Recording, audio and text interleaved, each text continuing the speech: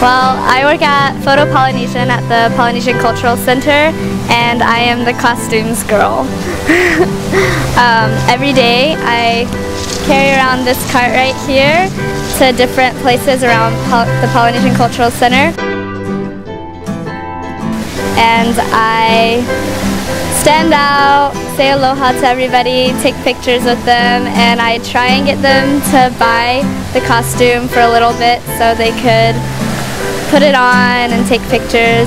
Working here has taught me a lot, probably most about patience and trying to understand people because sometimes they'll come by and not everybody has the aloha spirit so you just have to remember not to like get upset or down that they're like coming by with a bad attitude or they don't want to talk or they're just kind of rude. You have to just keep smiling, keep saying aloha and say I'm sorry having a bad day, hope you're having hope it ends better and just trying to stay positive and being patient with the people who are harder to be positive.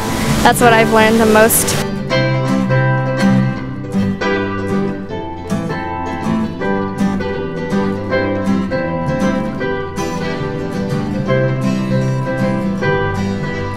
Okay, so when the people come first, we go over to the skirts and they choose their color and I wrap it around them and tie it on them.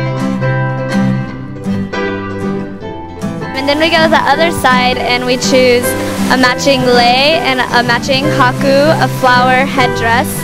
And then after that, I give them these little i'is. They're like little pom-poms, little shakers. Or the uli ulis, the feather Hawaiian um, shakers. And um, then I show them how to pose. Do about five different poses and um, I take their picture for them using their own camera. And if they want, they could request my camera, which costs extra. And then after I take the photos, they just give me the money and I write it down. And that's pretty much how it goes.